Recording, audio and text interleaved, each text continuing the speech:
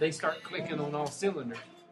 And so, plus, I kind of credit it to the, the Packers are still we're still we're kind of in a prevent defense because they knew they were going to have to score, and they were going to have to score quick, and they were going to have to throw the ball. Right. But still, Marshawn was able to establish himself in that running game, and he was able to get going.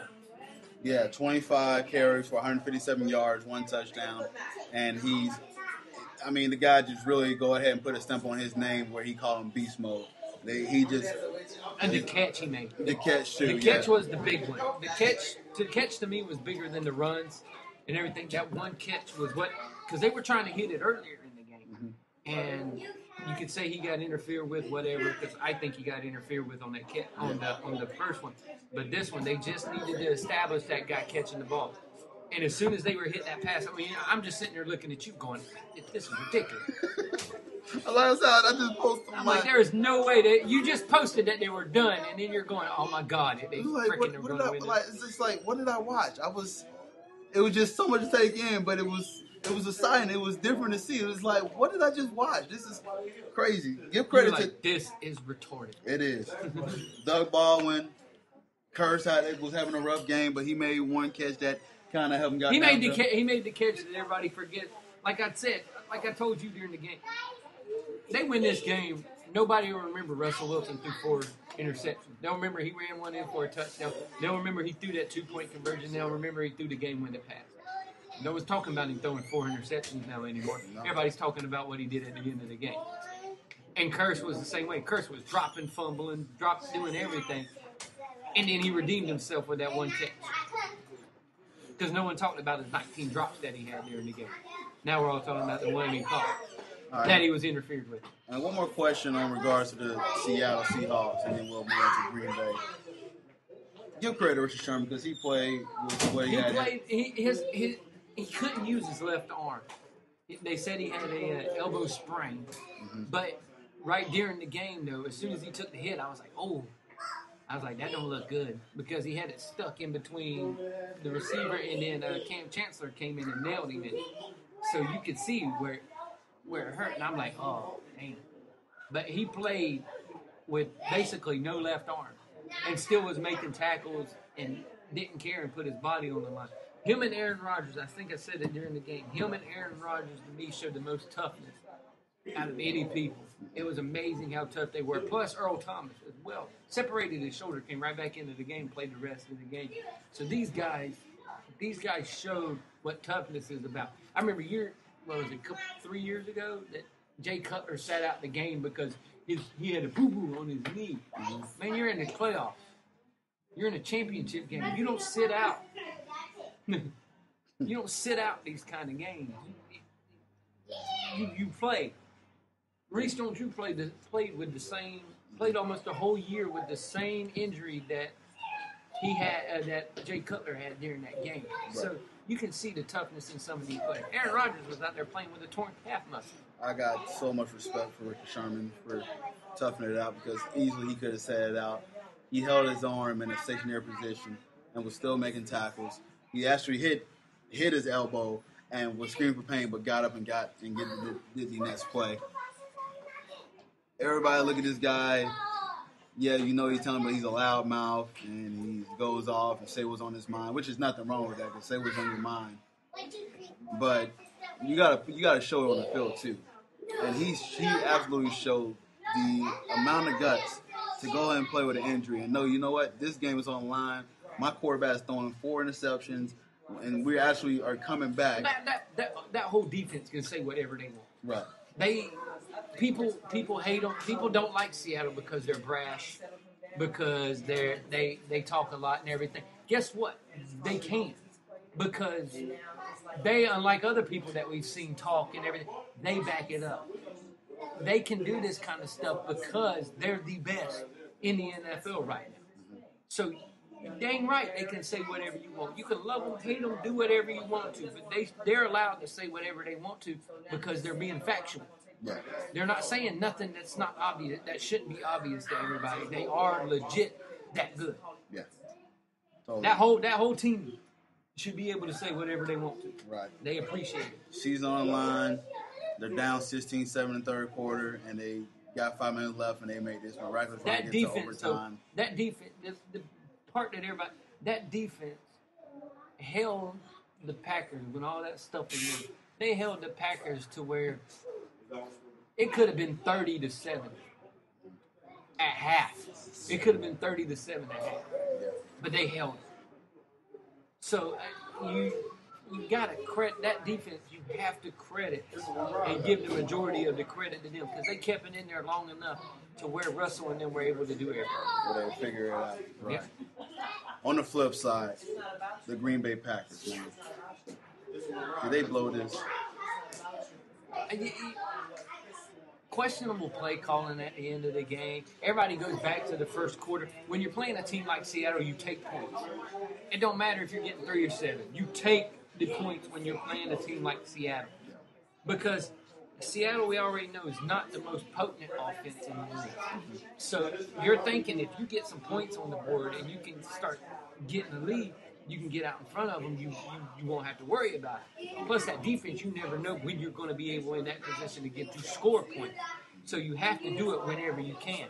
But there was some questionable play calling towards the end. Uh, the guy diving down after the fourth interception instead of running. He could have legit ran to almost field goal range. He could have got Green Bay into field goal range, and that would have iced the game. But he went down instead. Which I've seen the thing where they had Julius Rivers telling him to get down. And I know there's sometimes, but that, that very rarely happens. But that th- those little things during that game made you think about what was going on in the Packers. I don't think they blew it per se, but I think they really didn't help themselves either. But you can't really call it can't really call it a blown game Yeah, because Seattle had a lot to do with you blowing it. they did. Yeah, they did get the stuff they needed to.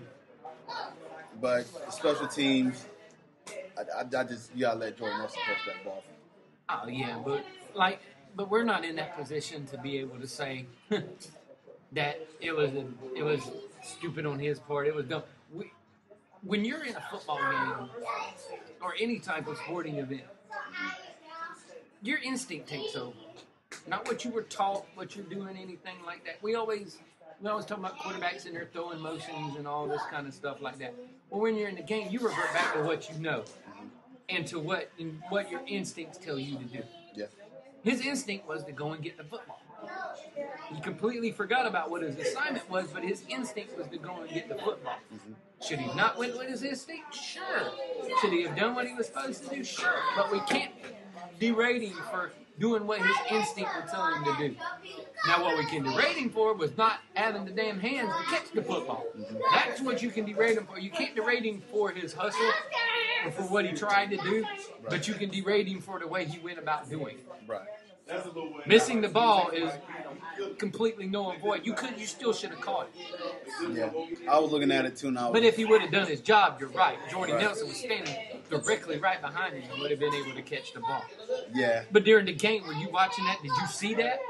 Did you see it, or did you see it until after the thing was already over when they were like, "Well, he should have been blocking," and Jordy Nelson? We didn't see it during that. The only thing we saw was the dude trying to get the ball, and it hit him on the head. man. what what a what a turn of events when that happened. Now, see, I'm, I'm thinking of the whole. Remember the, the San Francisco thing, the punt return some years with that. Like it, was, it wasn't too long ago, but it was just like a little blurred play at the moment where you just botched it. This is a botch situation too. Oh, where it hit him in the foot. Yeah. where it fell. Kyle right Williams. I think that's his name. Yeah, where Yeah. it hit him right in the foot. I, I just had reminiscences of that again. I was like, man, that just that sucks, man. If you're that if you're that player, Yeah. like it's it's, Yeah, it's it, it's a heart. It's a heartbreaking feeling. it is, man. 'cause you're you're sitting there. And you know, and you know Seattle Streets, and you're like, please get a stop, please get a stop, and You shrink in, You shrink into a hole. so as much as you know, you can't you can't pin on that one guy because you your defense should be able to stop a rolling Seattle that's going down the field now.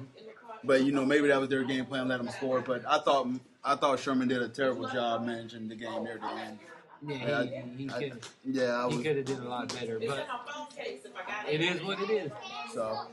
But Aaron Rodgers, we talked about Aaron Rodgers, he was playing with injury, and because I was the one in the podcast that said there was going to be a blowout because I was like, Aaron Rodgers not playing healthy. Kevin said this game's going to be pretty close. on me on the other hand, like this is gonna be. I don't think it's gonna be fair. I think I think Seattle's gonna s- smash them. I actually missed the score by like four points. But I gotta say, man, I, even with Aaron Rodgers on a hurt leg, he was pretty darn impressive. I mean, yeah, he he got. I'm sitting here looking at his stats here. Did he get? Yeah, he got sacked one time for seven yards. One, Yeah, so I mean, even with but he that, was hurt. yeah, so He was hurt, and then on the on the one where you were like, "Run, run!" I'm like, "He can't." I'm like, "He can't." There, there, there's a difference between Aaron Rodgers. But Aaron Rodgers before would have ran for 30 yards on that. one. You were like, "Run, run!" I'm like, "He can't run, dude. He's gonna fall out." I'm like, he just can't do it, and he couldn't do it. All right, man. Give me your odds here, man. Give me a percentage of Randall Cobb. Do you think he in the, is in a Green Bay Packers uniform next year? About 68 percent Sixty-eight that he stays.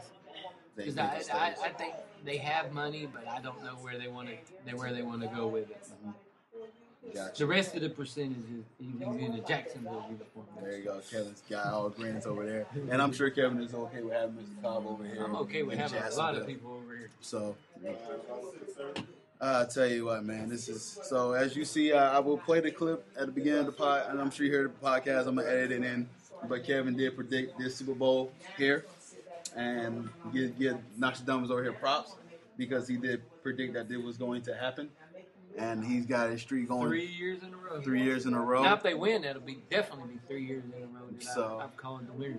So uh, Kevin is definitely uh, on a roll here. So I'm, I'm, I'm um, we'll, we'll discuss more of it during the week. We're gonna try to get on the defense side of the ball, inside the ball, and me and Kevin make predictions, Super Bowl MVP predictions. And what I'm actually going to do, I'm gonna actually get a get some people thoughts on. it. I want to hear y'all people thoughts on it. I'm gonna get a recording and ask people who you think is going to win the Super Bowl. That way, you know, we'll play that and you hear the voice of you know yourself. Well, even here in the barbershop, there's been a difference of opinion on who's going to win the Super Bowl.